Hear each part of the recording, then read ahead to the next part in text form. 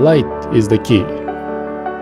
It doesn't matter if you shoot under the bright sun, or if you shoot in a pure black place, or if you shoot in the snow, or if you shoot in the rain. If you can control the light, you're going to get those amazing photos.